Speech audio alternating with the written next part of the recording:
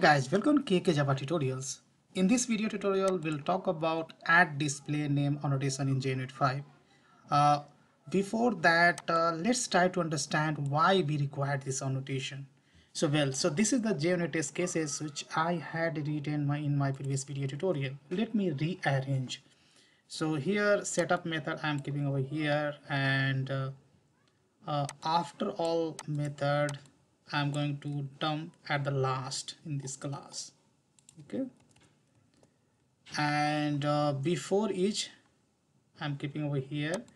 And after each I am going to dump just before after all. Okay.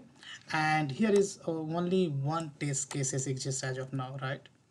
And what I'll do here you can see uh, this test uh, case what we have written this is performing addition of two positive numbers. So what I'm going to write over here uh, test add two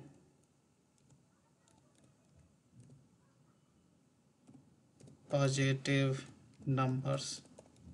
Right? That's the name I have given that uh, test uh, test uh, test uh, method name I have given right now let's add me little more so few more test cases right? So here i'm going to copy and paste.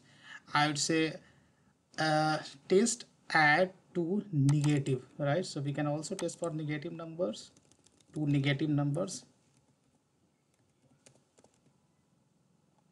Yeah and here we can specify negative number.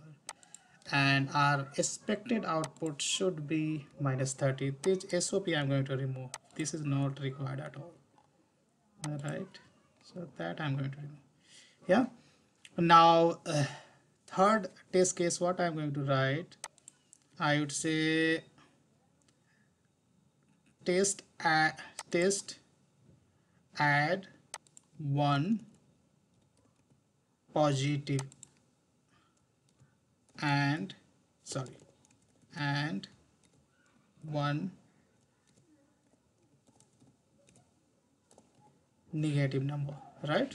And here I'm going to specify one positive and one negative number. So if you add these two numbers then output should be uh, plus 10 yeah? Uh, and if I run this my uh, test class then after running let's see what output we get. And here all the test cases has been passed. And in console you can see uh, here on the top this is showing the class name right? This is showing the test class name. Here this class name you can basically uh, modify using add display name. And apart from that test cases name I mean test uh, uh, test uh, I mean all the test case all the test method name you can see this is displaying as the basically method name. But these things also you can custom customize uh, for more readability purpose or maintenance purpose so that other developer also can understand yeah? So here uh, test classes and test method can be declare a custom display name using add display name uh, with spaces special characters. Even you can uh, use emojis as well. Uh, that will be displayed in the test reports and by test runners and all the IDs supports this one right? So let's try to understand through an example. So here on the top label I'm going to use our display name annotation yeah? And this guy takes one attribute is called value. Here I'm going to write uh, test sorry test cases for or what you can say all the test cases. We can write all the test cases of my utility or uh, actual class name is my util right? So i would say all the test cases of my util right? You can write that so instead of class name now this guy is going to display this one right? Test runner. Now we have a three test classes right here. So here what we can do?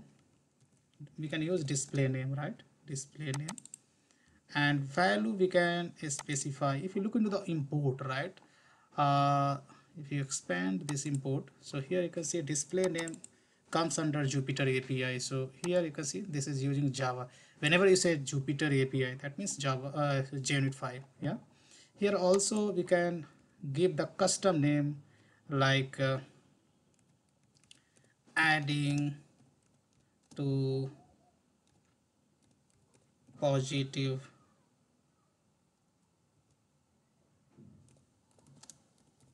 number something like that right? And of course you can use uh, this annotation before each and every uh, test case method right? I'm going to use here as well right?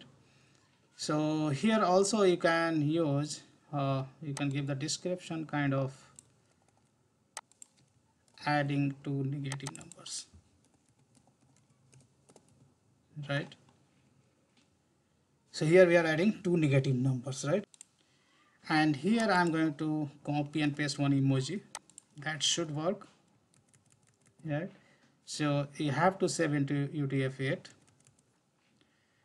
now if if if you save this emoji all right copy paste some from somewhere and uh, you try to uh, basically save it then uh, ID first time will come up with one pop-up and that will ask you uh, to save this emoji in, uh, basically uh, that will give you the different options. So you have to click on the UTF-8 and save it.